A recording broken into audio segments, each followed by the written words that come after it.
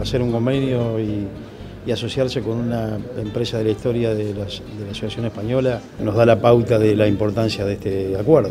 En este camino que la AUF eh, sigue adelante, de, tratar de al máximo de, explotar todos sus productos y de promocionar lo que son sus actividades, es un, mojón importante, trascendente también para, para la AUF llegar a este tipo de acuerdos. Para la sociedad española realmente es muy importante. Esta es la primera vez que el señor presidente nos recibe y que hacemos un convenio con una institución muy importante que es la Asociación Uruguaya de Fútbol.